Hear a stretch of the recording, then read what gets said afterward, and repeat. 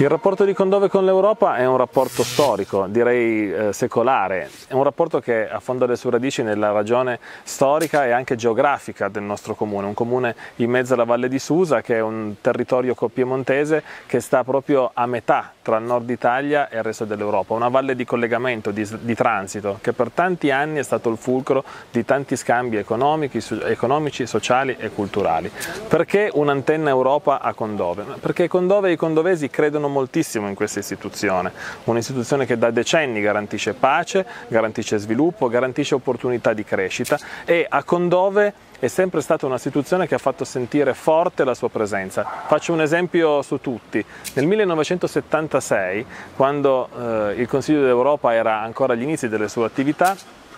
a Condove fu siglato un patto di amicizia fra eh, la comunità condovese e la comunità di Saint-Michel-de-Maurienne, un piccolo comune della Francia, proprio a significare l'importanza che i valori di fratellanza, di solidarietà e dell'internazionalismo significano e hanno significato per questa comunità.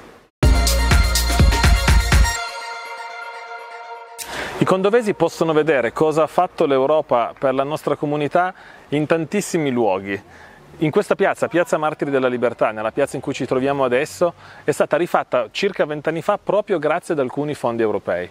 Penso anche alle nostre scuole, la scuola secondaria Giovan Francesco Re ha subito un intervento di ammodernamento dal punto di vista antisismico e dal punto di vista dell'adeguamento eh, termico pochi anni fa con un contributo di 670 mila euro proprio arrivato grazie all'Europa. La nostra montagna ha subito dei grandi lavori di manutenzione negli anni passati con dei progetti finanziati dall'Unione Europea e veicolati o dalla Regione o dall'allora provincia di Torino. Ma Probabilmente il segno più evidente della presenza dell'Unione Europea a Condove sarà visibile fra qualche mese, perché eh, in queste settimane abbiamo incominciato la costruzione di una nuova scuola dell'infanzia, la scuola dell'infanzia Gianni Rodari, che sarà edificata da zero, sarà nuovamente costruita, eh, un investimento di 2 milioni e 200 mila euro che eh, fa parte della seconda tranche degli investimenti europei finanziati con i mutui BEI e veicolati dalla Regione Piemonte che hanno permesso all'edilizia scolastica del nostro paese di ripartire.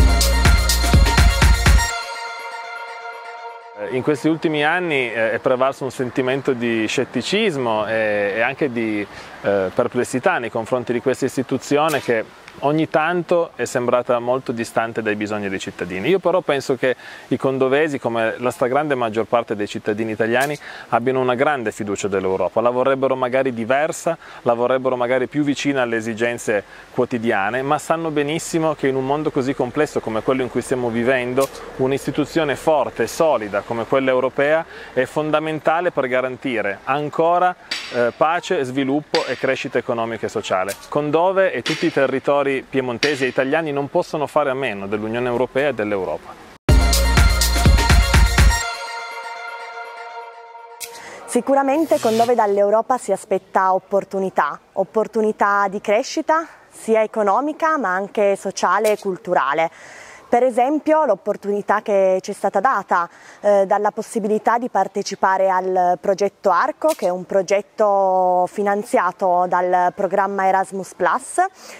è un progetto che vuole eh, formare i giovani condovesi, i giovani di età compresa tra i 16 e i 30 anni, formarli a una cittadinanza attiva in sinergia con l'amministrazione locale.